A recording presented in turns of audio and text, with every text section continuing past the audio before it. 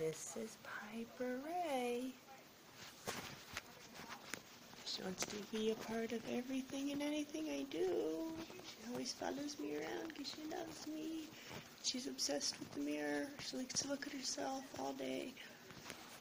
And Lola is probably in the box. She's in the box unless she's chasing her sister. Yeah, that's Lola. She's three pounds.